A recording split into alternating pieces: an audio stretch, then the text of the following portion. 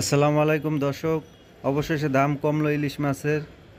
আজ ঢাকা কাপ্তান বাজারে এক কেজি প্লাস পদ্মার রূপালী ইলিশ মাছের দাম মাত্র এক হাজার টাকা।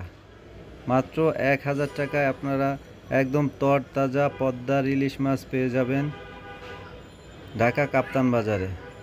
দর্শক, যে দেখতে দেখতে পাচ্ছেন আপনারা, একদম তাজা তাজা রূপালী ইলিশ পদ্মার একদম তরতাজা ইলিশ, মাত্র এক হাজার টাকা কেজি। এ দেখতে পাচ্ছেন, অনেক সুন্দর মাছগুলো।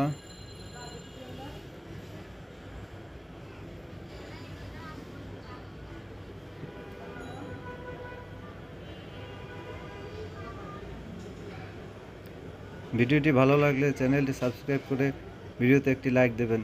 আসসালামু আলাইকুম।